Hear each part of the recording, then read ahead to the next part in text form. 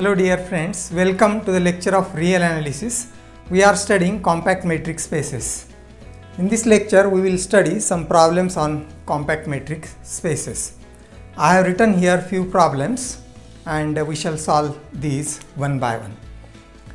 The first is prove that every finite subset of any metric space is compact. Finite subset of metric space is compact that we have to prove and uh, we know that uh, compact metric space is a space which is uh, complete as well as totally bounded and also a metric space is said to be compact if every sequence of points in M has a convergent subsequence. We shall use that result to prove finite subset is compact. Now solution for first.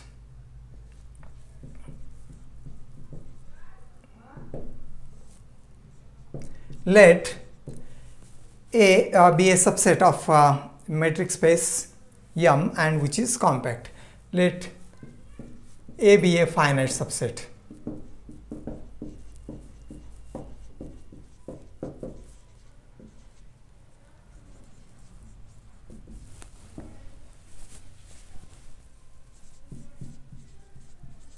Let uh, we have to consider finite subset. We have assumed that as A. A be finite subset of metric space. Now because um, A is finite we will consider the we have we shall use theorem number 7 that means uh, we consider a sequence of points in A and we shall show that its subsequence converges to a point in A. And uh, for that let xn be a subsequence or be a sequence be a sequence of points in A.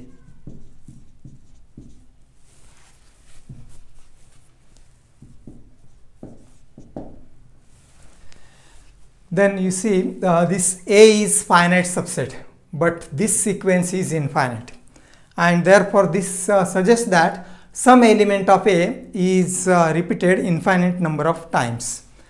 Then some element of A. Say we will suppose that as x naught is repeated.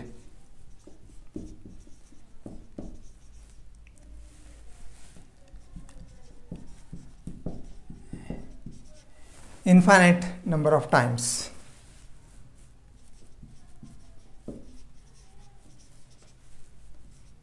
why? Since this is since a is finite. A is finite and we are considering an infinite sequence of points in a. So some point must be repeated infinitely many times. And we have supposed that point is x naught. And therefore the sequence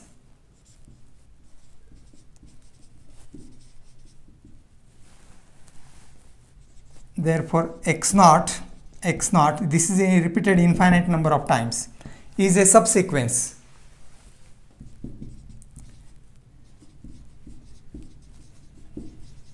Subsequence of uh, this sequence xn. And this subsequence obviously converges to a point x naught x naught in a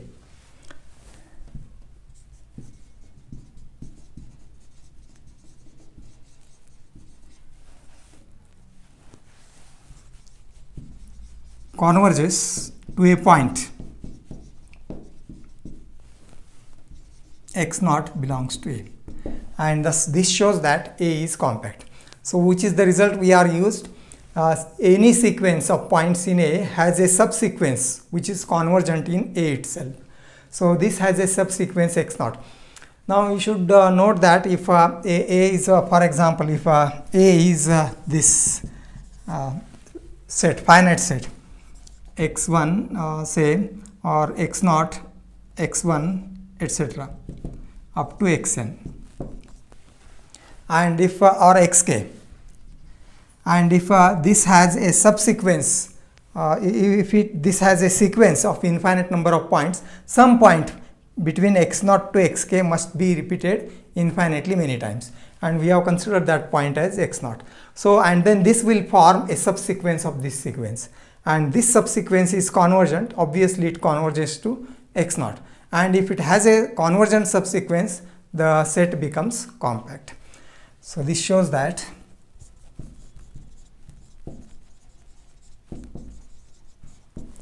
A is a compact metric space.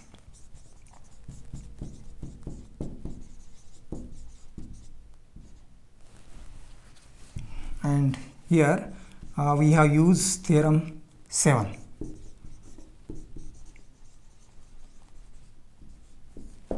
And this uh, completes the solution for the first problem.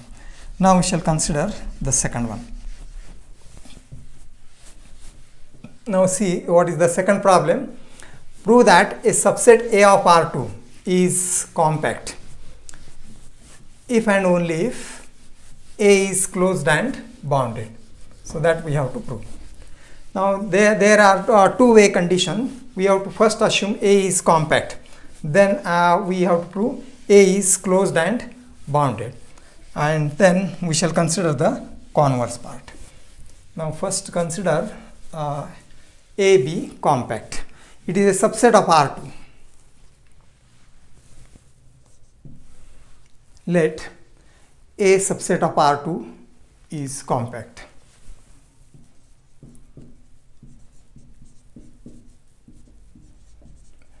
Because this is compact. Now what we have to prove? It is uh, closed and bounded. And this is a direct theorem. Say a compact uh, set is always closed. So this is theorem number 8 we have proved and thus uh, A is compact implies A is closed. So this implies A is closed.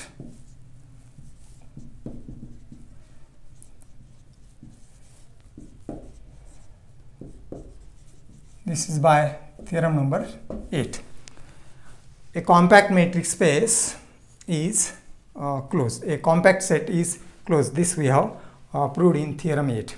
Now what remains uh, to prove? It is bounded. And because A is compact, by definition of compact metric space, it is complete and totally bounded. Also, A subset of R2 is compact implies this implies a is totally bounded by definition. And a totally bounded set is, we have proved this, is bounded, always bounded. So this implies A is bounded. And thus A is compact implies A is closed and A is bounded. So thus A subset of R2 is compact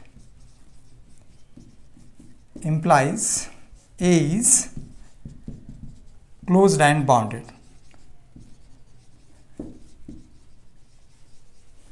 Now we shall consider the second part. Uh, further, conversely, suppose let A be a uh, closed and bounded subset of R2.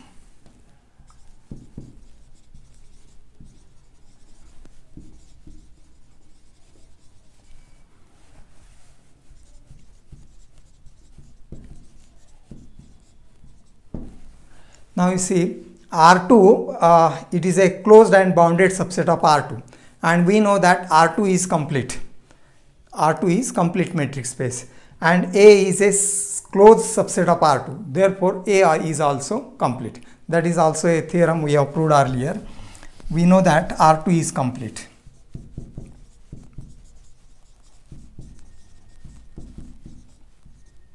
We have proved this uh, uh, as a, an example earlier R2 is complete. And since A is closed subset of R2, A is also complete.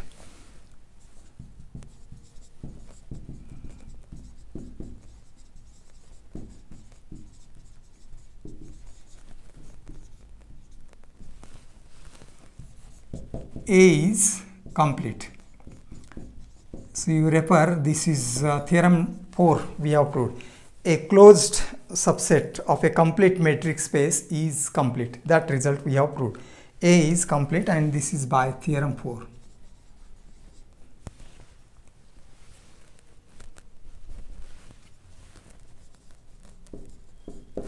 Now, so thus uh, uh, we have uh, proved A is complete. Now what, but what we have to prove? A is compact and for compact we need complete and totally bounded. Further, A is bounded subset of R2.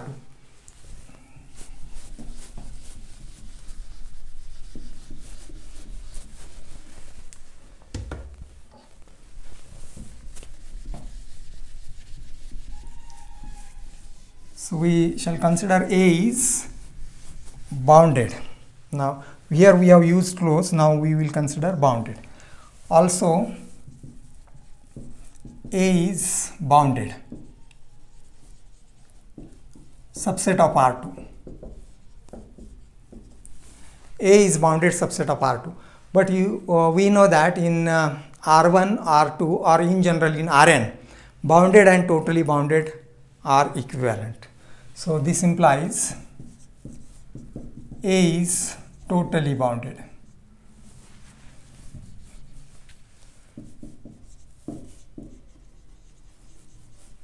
Since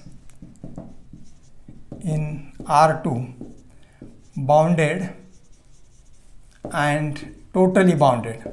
R1 R2 in general in Rn also bounded and totally bounded are equivalent.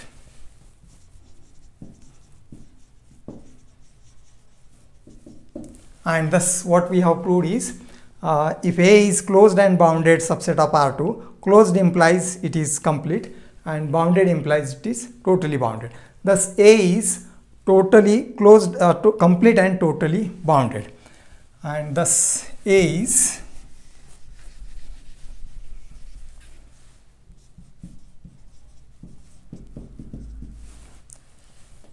complete and totally bounded. Here it is.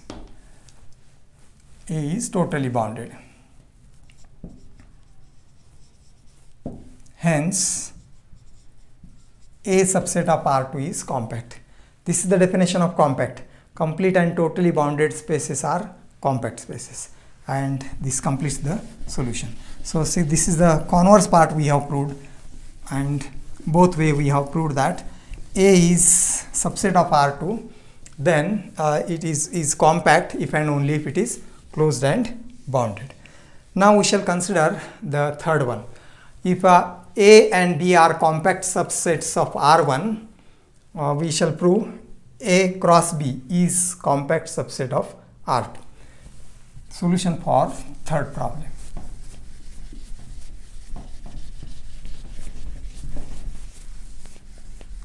uh, we shall have A and B are compact subsets of R1. First, we will consider that.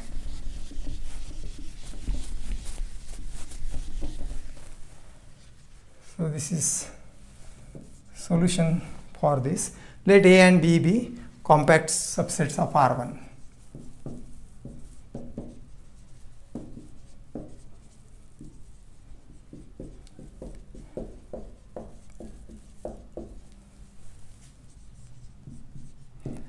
Now uh, we will uh, use theorem number 7 for this. Now uh, what this implies A and B are compact subsets of R1 then A is compact means if there, is a sequence xn in A then it has a convergent subsequence that is equivalent condition for compact metric spaces. Uh, then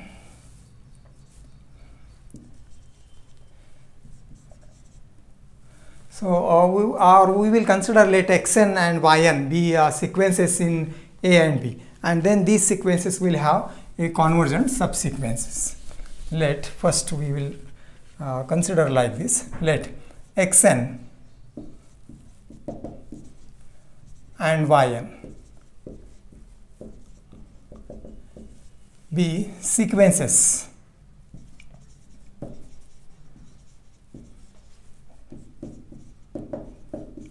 points in A and B respectively.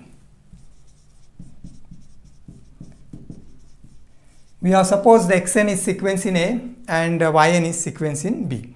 And because A and B are compact, they will have a convergent subsequences. Since A and B are compact, xn and yn will have uh, a convergent subsequences. These sequences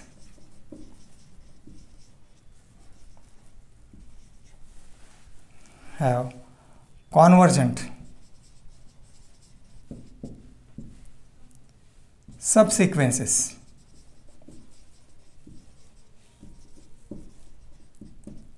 say xnk and ynk.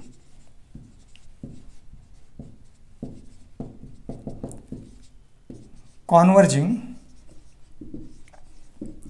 These are convergent means uh, they will uh, uh, uh, subsequence will converge to some point. We will suppose this converges to x and this converges to y.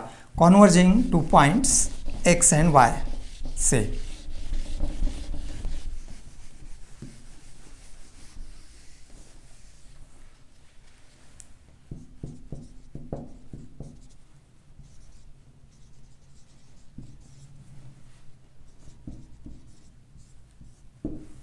And thus uh, what we have is now we will consider this uh, as a product Cartesian product. So thus xn yn order pair is a sequence in A cross B. Thus this xn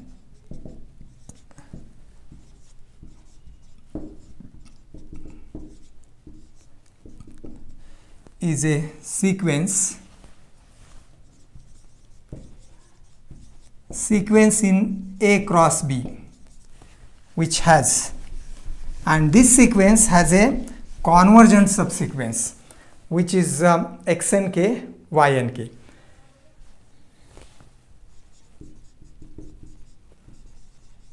which has a convergent subsequence or a subsequence and that uh, subsequence I shall write here.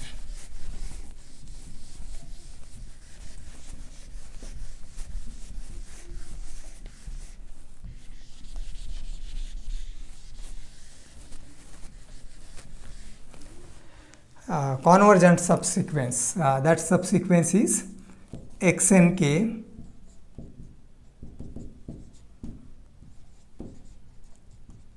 ynk k takes value 1 to infinity converging to point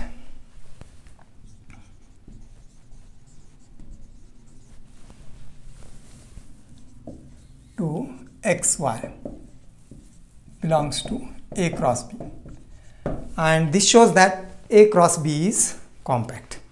So which uh, result we are, have used is theorem number 7.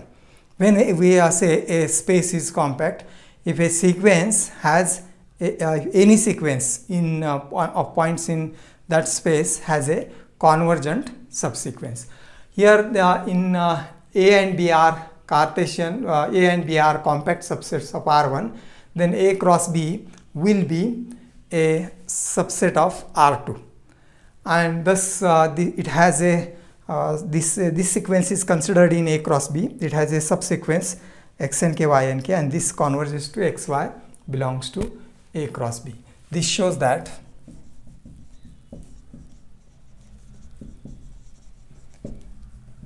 A cross B is compact and this is again by theorem 7. So this uh, completes the solution for the third problem. Now what remains is the last one, fourth f be a continuous uh, real valued function on AB. So this uh, actually uses the third result. Uh, continuous real valued function on uh, closed bounded interval AB. Then we have to prove that graph of f is compact.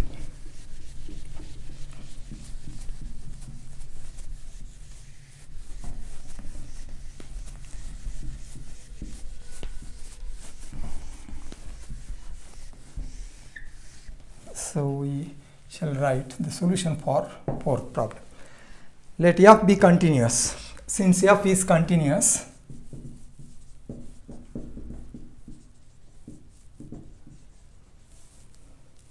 on AB, closed bounded interval AB. By definition of uh, uh, or by property of continuous function, f takes every value between uh, a, a to b and therefore it attains uh, maximum and minimum value uh, in this interval. So therefore f attains a minimum value m and a maximum value say uh, minimum value m we are we will assume this. Say and a maximum value capital M.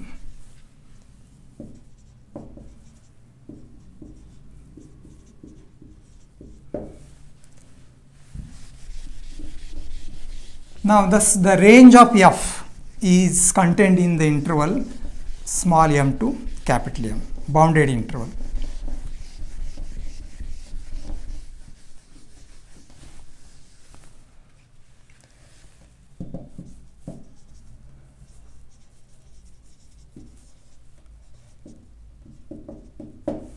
Range of f is contained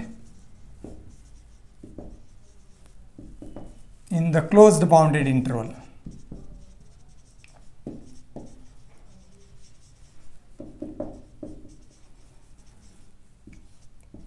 Small m, capital M. So uh, this is the case here, and uh, we uh, we may see what is the meaning of uh, this continuous function and minimum and maximum values.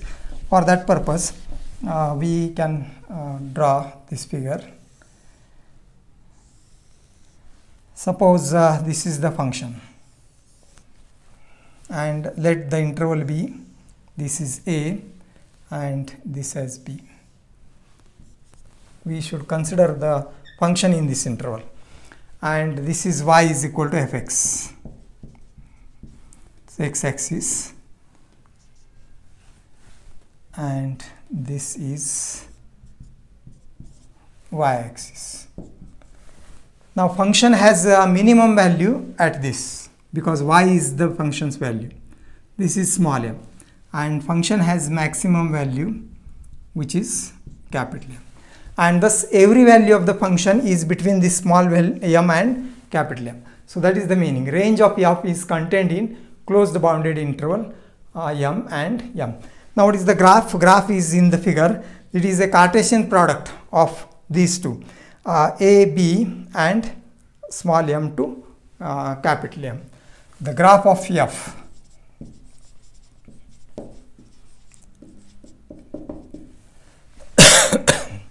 uh, is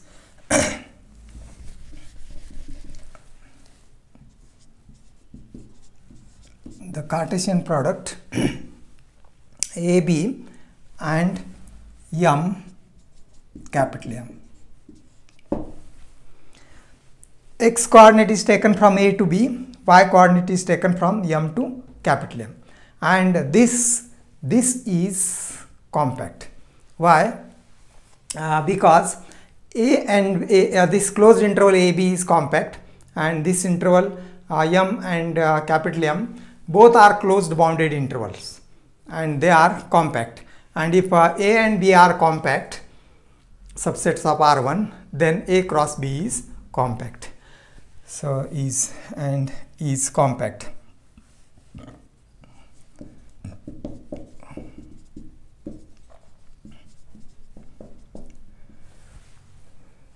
so uh, this is which is uh, compact since a b the closed interval a b and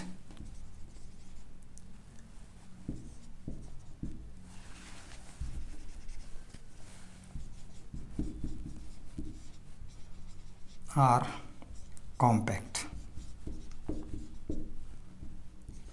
subsets of R1. So this uh, proves the graph. Graph of F is compact subset of R2 and this completes the solution for the uh, fourth example. See the graph is uh, uh, the uh, order pair x y. And x is taken from this closed interval a b y is taken from this uh, closed interval M and capital M. And therefore because both are compact these two A and B if you suppose are compact then their Cartesian product is compact. This we have proved in third example and therefore the graph of this function f is uh, compact. So these are some problems uh, we have solved on compact metric spaces. So remaining part we will continue next time. Thank you.